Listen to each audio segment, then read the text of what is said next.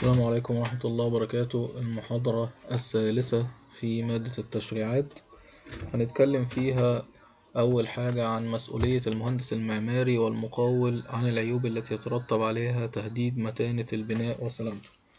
المقصود هنا إن الضمان العشري اللي إحنا كنا اتكلمنا عليه قبل كده إن بيكون المهندس المعماري أو المقاول اللي بيقوموا بعملية البناء دول مسؤولين مسؤولية لسلامة البناء لمدة عشر سنين بعد تسليمه وده ضمان حتى يتمكن رب العمل أو المتعاقد معاهم بعقد المقاولة من إن هم هيقوموا بعملية المقاولة على أكمل وجه بحيث إن ما يكونش فيه أي أخطاء هتصيب المبنى اللي بيقوموا بإنشاء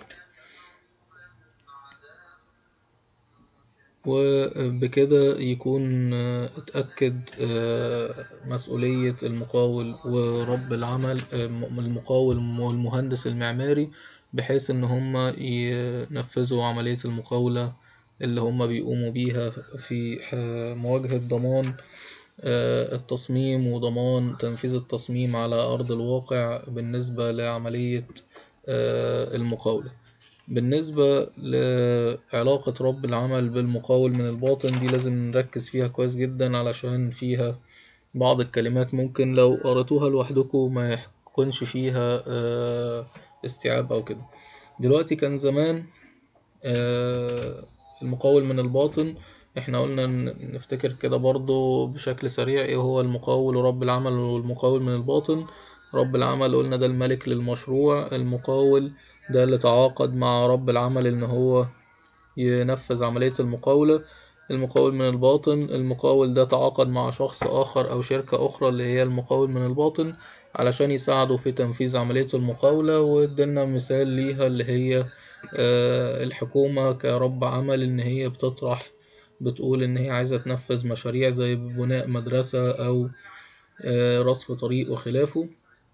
بناء على كده يبدأ تدور على مقاول يطرح لها شروط بأعلى جودة وأقل سعر وبعد كده لما يتم التعاقد ممكن إن هو يكون في العقد المقاولة ده تم النص على إجازة المقاولة من الباطن وفي الحالة دي يقدر المقاول إن هو يتعاقد مع شخص آخر أو شركة أخرى المسمى بتاعها المقاول بيكون مقاول من الباطن لإنهاء عملية المقاولة في أسرع وقت. فدلوقتي بالنسبة للمقاول من الباطن ده ملوش أي علاقة برب العمل لأن ده مش متعاقد مع رب العمل بسمة تعاقد. المقاول من الباطن عقده مع المقاول الأصلي. فكان زمان في الحالة دي كان لما بيحصل خلاف بين المقاول من الباطن والمقاول الأصلي على المبالغ المالية والمستحقات المالية كان لو حصل مثلا تعثر للمقاول الأصلي كان المقاول من الباطن في الحالة دي بيقتسم قسمة غارمين مع باقي الدائنين اللي هم على المقاول الأصلي وفي الحالة دي كان ممكن إن هو يضيع جزء من حقه أو الحاجات دي كلها. دلوقتي القانون قال إن في دعوة مباشرة هيرجع المقاول من الباطن على رب العمل بشكل مباشر بحيث إن هو يقتضي حقه من المبالغ المستحقة للمقاول الأصلي في ذمة رب العمل عن ذات عملية المقاولة. يعني إيه الكلام ده؟ يعني دلوقتي المقاول الأصلي ليه عند رب العمل مثلا وليكن مليون جنيه والمقاول من الباطن ليه خمسمائة ألف جنيه أو ليه مليون جنيه عند المقاول الأصلي. فيقدر المقاول من الباطن إن هو يرجع على رب العمل ويقول له أنا نفذت عقد المقاولة اللي اتفقت أنت مع المقاول الأصلي عليه وليا مليون جنيه عايز اخدهم منك اللي هم أصلا حق لي المقاول الاصلي. في الحالة دي على طول من تاريخ الإعلان المقاول من الباطن. إعلان الدعوة المباشرة لرب العمل يمتنع عليه إن هو يسدد المبالغ المستحقة في ذمته للمقاول الأصلي. لأن هو لو قام بده وسددها بعد الإعلان يبقى في الحالة دي المقاول من الباطن برضه هيستوفي من رب العمل المبلغ الخاص بيه على القدر اللي هو سدده أو على القدر المستحق ليه المقاول الأصلي في ذمة رب العمل. بس بيشترط إن لازم يكون المبلغ المستحق للمقاول الأصلي في ذمة رب العمل عن ذات المقاولة اللي قام بتنفيذها المقاول من الباطن تمام كده يا جماعة؟ بالنسبة للنقطة اللي بعديها وهي أعمال البناء ومسؤولية المهندس والمقاول إيه هي مسؤولية المهندس والمقاول من ناحية المسؤولية المدنية أو المسؤولية الجنائية أو المسؤولية التقصيرية؟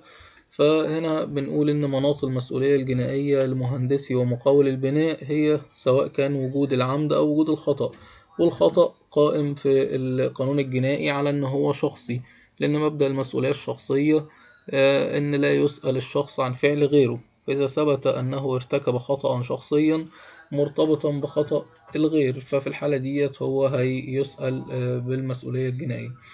أما بالنسبة للمسؤولية المدنية فمناط المسؤولية المدنية هو العقد التعاقد عقد المقاولة اللي تم تحريره بين المقاول وبين المهندس وبين رب العمل. وبالنسبة للمسؤولية التقصيرية ليها شروط لو توفرت الشروط يبقى في الحالة دي بيستوجب المهندس المعماري اللي وضع التصميم إن هو يلتزم بمبلغ التعويض بالنسبة للمسؤولية التقصيرية في حالة إن هو مثلا التصميم بتاعه حصل فيه مشكلة أو كان غير مطابق للمواصفات. هو على حسب إن هو العمل اللي بيقوم بيه عمل فني مقتصر على التصميم والمقاول ده العمل الخاص بيه عمل مادي هو اللي بيقوم بعملية التنفيذ.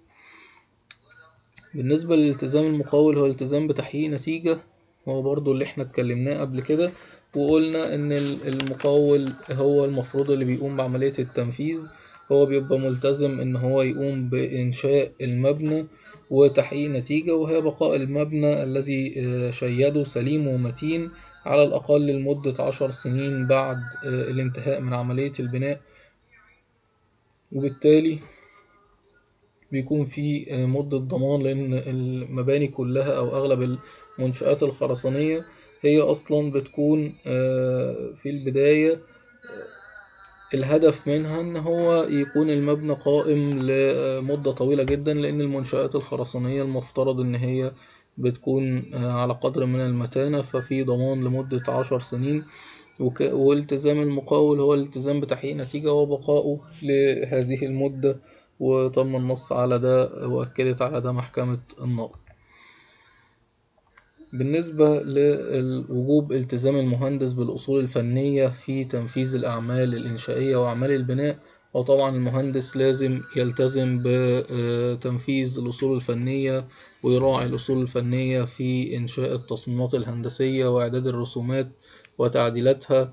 ويلتزم بده ويأكد على إن هي مطابقة للمواصفات القياسية المصرية وإن هو مش هيعفي المهندس إن الرسومات دي تكون وقع عليها رب العمل أو اعتمدتها الجهة الإدارية لو فيها أي خطأ لأن دوت أصلا المفروض إن رب العمل مش راجل متخصص في عملية إنشاء التصميمات الهندسية أو هو مش ممكن يكون مش فاهم إيه التصميم الهندسي ده أساسا. فالمسؤولية كلها بتكون على المهندس القائم بعملية إنشاء التصميم الهندسي. ومش هيعفي من ده إن هي الجهة الإدارية تكون اعتمدتها لأن هو أصلا الاختصاص في الحالة دي أو مناط المسؤولية أو مناط الاختصاص بيكون على المهندس. ده بالنسبة لعملية إنشائه في حالة إن هو هيكون أصلا هيقوم بإنشاء التصميم الهندسي فقط. إنما إذا كان هيشرف على التنفيذ يبقى في الحالة دي هيسأل مسؤوليتين مسؤولية إنشاء التصميم والإشراف على التنفيذ بعد كده زي ما إحنا قلنا في المحاضرات اللي قبل كده. بالنسبة للمسؤولية التقصيرية للمعماري بيكون المعماري مسؤول مسؤولية تقصيرية في حالات كتير منها حالة الغش ولأن إحنا في حاجة بتقول إن الغش بيفسد كل شيء. حتى في فرنسا قالوا إن الغش حتى لو كان بعد 30 سنة تم اكتشافه ففي الحالة دي مش هيسقط مدة الضمان لأن الغش دوت ده مبدأ بيقول إن الغش يفسد كل شيء وما ينفعش إن هو يستفيد من الغش اللي حصل فيه. الغش بقى سواء كان في مواد البناء اللي تم استخدامها كانت غير مطابقة للمواصفات. غش في إن هو منفذش التصميم على أرض الواقع وبناء على كده أدى لحدوث تصدعات في المباني غش في الأنواع غش في التصميم نفسه فده كله طالما هو كان غير ظاهر في في ساعة الاستلام فإن هو بيكون آه، ليه حق رب العمل إن هو يطالب بالتعويض الخاص بيه أو بمقدار الضرر اللي حدث للمبنى الخاص بيه يعني. بالنسبة للقضاء الفرنسي ما, يعت... ما بيعتبرش المبنى خلال فترة التشييد بناء ولكن هو بيعتبره كشيء وبيعتبر إن هو آه، المقاول اللي بيقوم بعملية آه، ال- ال- الإنشاء هو مسؤول عن آه، أو حارس للشيء اللي هو بيقوم بعملية البناء بالنسبة له. وبالنسبة للمالك في حالة إن هو بيكون آه، بيشرف على عملية البناء فبيكون في الحالة دي مسؤول عن آه، حراسة الأشياء وليس حراسة البناء. إنما في مصر استقر قضاء محكمة النقض على إن المسؤولية بتكون مسؤولية كحارس البناء مش حارس الأشياء. بالنسبة لمسؤولية المهندس واللي فاتت ديت إحنا كنا بنتكلم على آه، رب العمل اللي هو مالك المشروع. أما بالنسبة لمسؤولية المهندس والمقاول آه، المدنية كحراسة الأشياء استقر القضاء الفرنسي والمصري على أن المقاول والمهندس يسأل مسؤولية حراسة الأشياء. ده في فترة التشييد وقبل تسليمه إلى المالك. تنعقد المسؤولية إلى المقاول والمهندس على حسب الأحوال. إذا كان مثلا ال- المهندس هو بيقوم بعملية الرقابة والإشراف على أعمال المقاول وفي الحالة ديت بيعتبروا مسؤولين مسؤولية حراسة الأشياء وليس حراسة البناء وده بيكون راجع آه، في حالة خطأهم في أي عملية من عمليات ال- الإنشاء لنص المادة 163 اللي بتقول إن كل خطأ سبب ضرر للغير يلتزم من ارتكبه بالتعويض.